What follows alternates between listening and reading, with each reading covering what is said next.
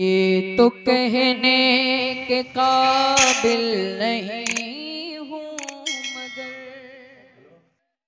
अरे अताउल हसन साहब, अल्हम्दुलिल्लाह, बड़े अच्छे अछूती अंदाज में मनकबत इमाम हुसैन रज़ी अल्लाह गुनगुना रहे थे हजरात। अल्हम्दुलिल्लाह, दिल बाग बाग हो गया। हजरात, याद रखिएगा, करबो बला के वाकियात वो ऐसे वाकियात हैं कि अगर इंसान उनको बयान करता है तो मुँह को कले जाता है जुबा कासी रह जाती है, आँखों से आँसू निकलना शुरू हो जाते हैं। करबो बला के वो वाकियात, ऐसे वाकियात हैं। अगर एक शहादत आप एक करबला की तारीख उठा के देखेंगे, अगर एक शहादत का मुताला करके देखेंगे तभी इंसान को पता लगता है, कलेजा फट जाता है किस तरह से आपको जालिमों ने करबो बला के तपते हुए सहरा में आपको शहीद किया था। तीन दिन के भूखे प्यासे, शिद्दत प्यास से तड़प रहे थे। लेकिन सुनो हजरात, दूध पीता हुआ बच्चा, हजरात मोहतरम लोग कहते हैं, इमाम हुसैन पानी को तरस गया। इमाम हुसैन पानी के लिए तड़प रहा था। लेकिन सुनो, इमाम हुसैन पानी को नहीं तरसा था, बल्कि मैं तो कहता हूँ कि नहरे फुरात ही इमाम हुसैन को तरस रहा था। ते सैलाब देखता हूँ तो ख्याल ही आता है। सैलाब देखता हूँ तो है कि फुरात तलाशे हुसैन में है पानी।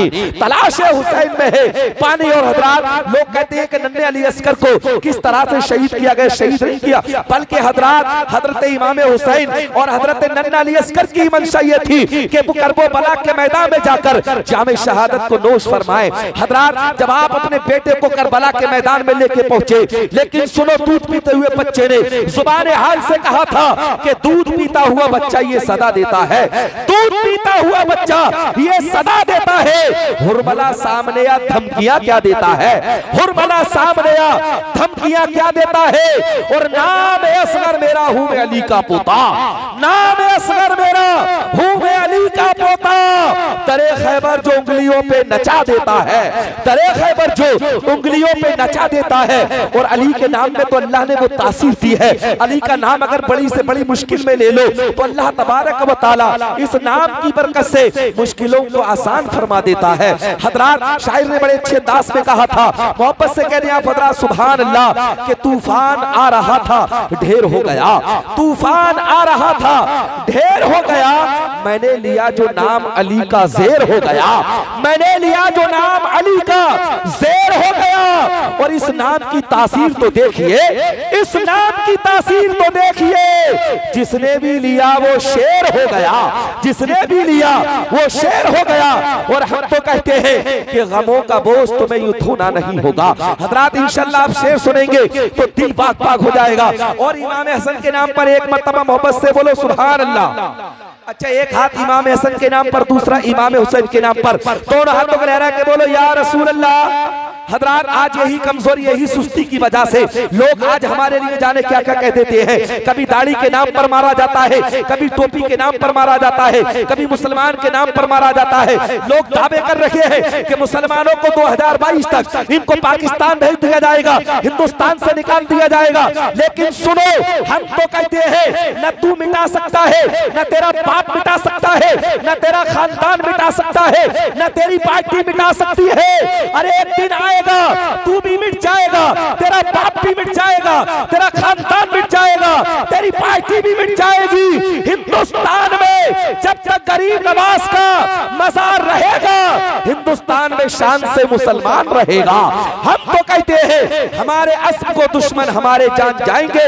हमारे अस्म को दुश्मन हमारे जान जाएँगे। तारीख पढ़ लेंगे तो पहचान जाएँगे। तारीख पढ़ लेंगे तो पहचान जाएँगे। यहीं पे पैदा हुए हैं हम, यहीं पे दफन भी होंगे। यहीं पे पैदा हुए हैं हम, यहीं पे दफन भी होंगे। गलत फहमी में न रहना के पाकिस्तान जाएँगे। गलत फहमी में न रहना के पाकिस्तान जाएँगे। और हम तो कहते हैं कि मुल्क लुट जाएगा, आसार नज़र आते हैं।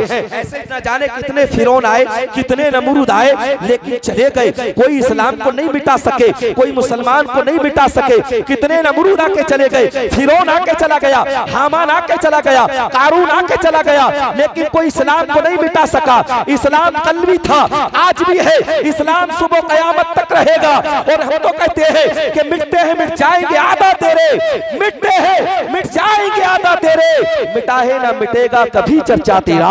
मिटाहे ना मिटेगा कभी चर्चा तेरा। और सईद अनवर सुबहानी अकबरपुरी तो कहता है कि मुल्क लुट जाएगा आसार नज़र आते हैं। मुल्क लुट जाएगा आसार नज़र आते हैं। सियासत में अब गद्दार नज़र आते हैं। सियासत में अब गद्दार नज़र आते हैं। मुल्क आज़ाद कराने में लगा दी हमने जान की बाजी। मुल्क आज़ाद कराने में लगा दी हमने जान की बाजी। जालिम को हम बेहया को हम गद्दार नज़र आते हैं। बेहया को हम गद्दार नज़र आते हैं। आइए हज़रत अल्हम्दुलिल्लाह, आप अपने माथे की निगाहों से देख रखे हैं। आज के इस, आज के वक्त का चमकता दमकता सितारा शाकारे तरन्नुम बुलबुले बागे रिसालत बताहे रसूल बागे तैयबा के फूल, जिनसे मेरी मुराद मोहम्मद उमर रजा जैदी को पेश कर रहा हूँ। इंशाल्लाह आप सुनेंगे और सुनते सुना है। और अब आप और सुनेंगे तो दिल पाक पाक हो जाएगा। कल जो सुना था आपने पहले सुना था तो एक पौधे की शक्ल में था एक पेड़ एक, एक पौधा था लेकिन अब्दुल्ला तो दरख्त हो चुका है। इंशाल्लाह सुनेंगे तो दिल पाक पाक हो जाएगा। बड़े ही अदब एहतराम के साथ मैं खिराज अकीदत पेश कर रहा हूँ। जिनकी शायरी से इसको अकीदत के चश्मे बनते हैं जिनकी शायरी में फसाहत और बलागत की फराबानी दरिया की रवानी समंदर की सैलानी मौजों की तिगियानी सूरज की दरख्शानी और तुमको सुबह अल्लाह बोलने में है क्या कोई परेशानी?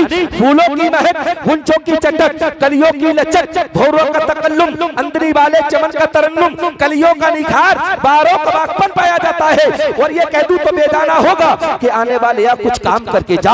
आने वाले आ, कुछ काम करके जा। तुम नामियों में तू अपना नाम करके जा।